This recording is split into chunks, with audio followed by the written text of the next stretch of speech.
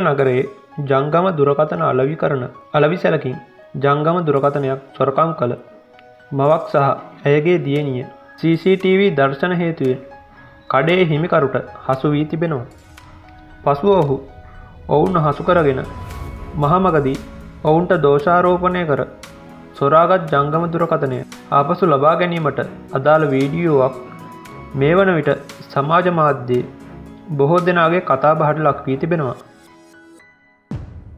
මෙවැනි උණුසුම් පුවත් දැනගන්න තැන්ම ස්ල් ස්ටටස් YouTube චනල් එක සස්ක්‍රයිබ් කරන්න.